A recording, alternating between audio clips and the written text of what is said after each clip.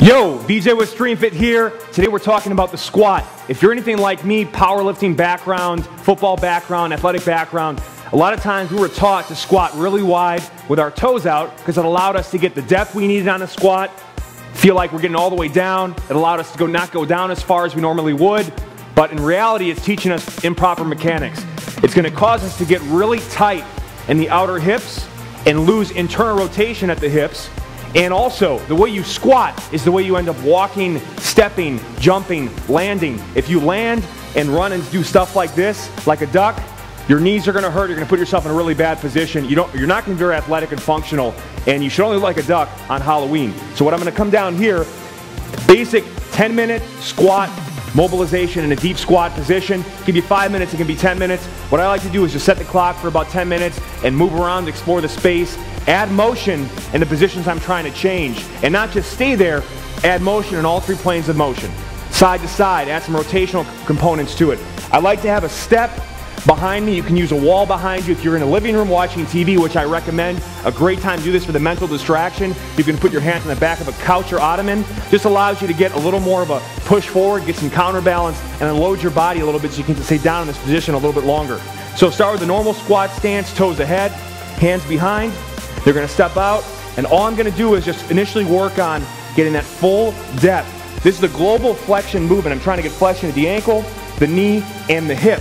If you feel like you have some restrictions in any which area, at the hip and ankle in particular, what you want to start doing is adding some internal and external rotation. I can start on one leg at a time, external to internal. The focus is moving as much as I can at the hip, not as much at the knee, in and out, trying to really screw my feet into the floor. So again, as you see as I start doing this, I'm automatically improving my toe ahead positioning. And then I shift to the other side, inside, outside, play around with it, really go in and out.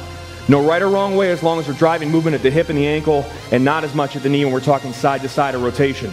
Coming right back, same concept, screw those feet in the floor. I even like to go like this a little bit and cheat it by getting the toes a little bit ahead. So when I screw the feet into the floor, even if they come forward a bit, they end up finishing toe ahead. And then I'm actually going to do some internal and external rotation from that position.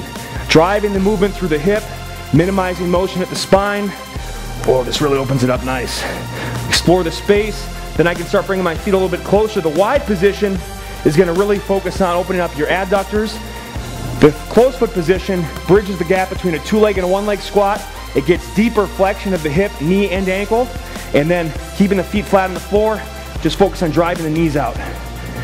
Don't lose that flat position. Keep the weight in the center of the feet. And then I can start doing a little bit of this. Little side to side floss. Play around with that positioning. Lock it down. And then I can start moving to some one leg options. Initially, start to kind of in this, uh, this post position and then kind of get that hip into the back of the socket. Really dig down deep and then add some internal external rotation to it. A lot of times that bottom of the squat position, we talk about not having the ankle mobility to get down there. It really oftentimes comes down to lacking the flexion of the hip. You bump into this wall at the hip, a flexion wall at the hip, and you can't get there. This really helps open that up. Flossing side to side, again switching sides, and again over a course of 10 minutes you're just moving between these different positions. It's kind of a medium stance.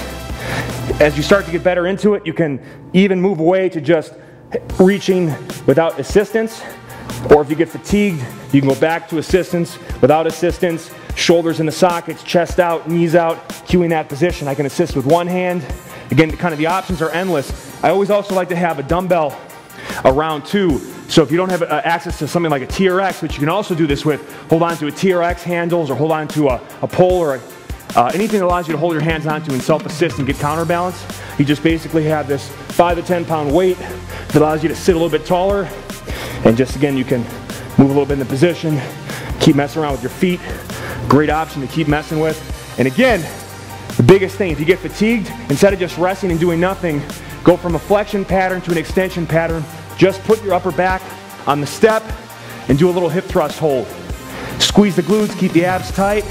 It's gonna kind of open up the hips in extension, kind of reverse that flexion pattern. Great pairing that allows you to get more work done in 10 minutes and get some active recovery going. Of course, I can do that on one leg as well, but keep mixing between those options.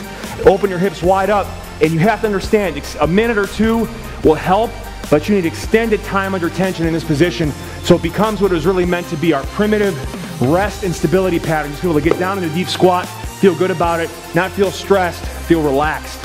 Do this daily, a couple times a day, five to 10 minutes at each time will blow your mind with how quickly you develop mobility so you're squatting like a champion. Become a free member at streamfit.com today. Start working on the deep squat and you will be unstoppable. See you next time.